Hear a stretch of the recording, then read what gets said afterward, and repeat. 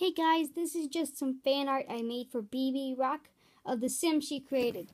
So um that's all I got for today and uh bye. Also this is her the this is Bunny Bee as a um 12 year old. So yeah. Bye guys.